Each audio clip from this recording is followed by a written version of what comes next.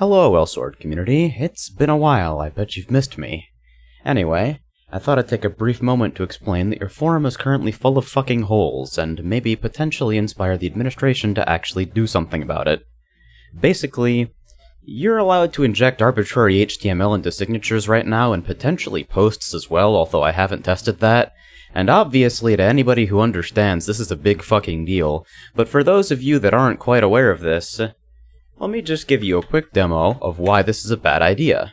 I'm going to paste a little bit of HTML into my signature here, then save it, and then go to my profile.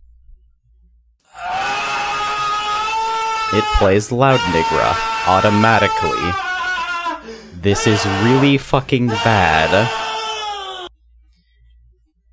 It also happens to play if you access any page that contains one of my posts, which is potentially a lot worse, and the reason that I'm actually publishing this in the first place. So if I were to go back to my profile, yup, and find my latest posts, if I go to any thread that contains one of my posts, this still happens. Pretty amazing, right?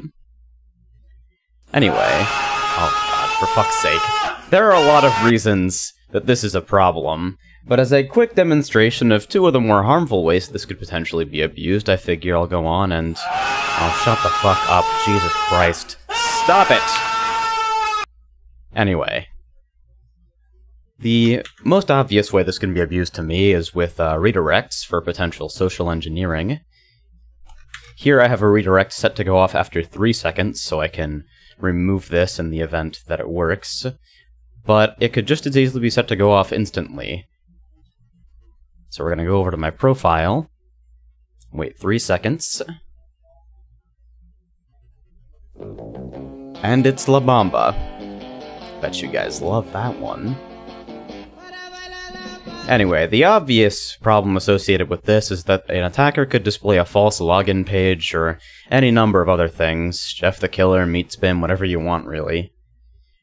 But the really awful stuff comes when you realize that they've also left arbitrary script execution available, which means that if I save here and head back to my profile, I can pop an alert box and execute any other JavaScript that I might want.